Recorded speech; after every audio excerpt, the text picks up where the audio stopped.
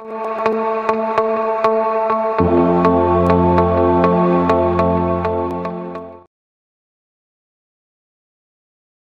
friends, I am Dr. Sunaina Dubey, obstetrician, gynecologist and infertility specialist. I am working in Apex Hospital with an experience of 12 to 15 years. Okay, today we are going to speak about preconceptional counseling.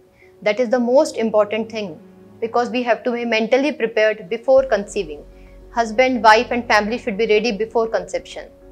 It includes many things diet, mental health, medical history, family history, previous obstetric histories. Okay, now one by one we'll come, uh, take care of everything. First thing, what we should do?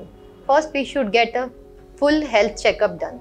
It includes complete blood count, random blood sugar, thyroid, and some minor tests like if anybody in the has a family history of any disease or anything, we should check before conception. Okay, next we should have a healthy, plenty of fruits, vegetables, and fresh juices.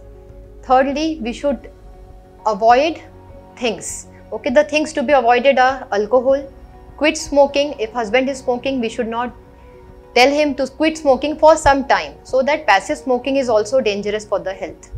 Okay, next we should avoid some drugs, medicines. If we are taking some medicines, we should contact or consult some doctor, gynecologist, physician. If we are on antihypertensive, he will change it.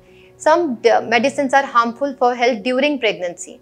So that should be taken care before preconception we should start folic acid 5 milligram daily before conception 3 months before conception this we are preparing so that the baby should not have some any neural tube defects these are small things we should take care and mentally we should be healthy we should not take any stress pregnancy is never a disease okay you can work you can do mild work at home you can go office there is no problem. You should avoid certain things which are list I am going to give you. This video is only for educational purpose. If you have any queries, please come and consult nearest gynecologist.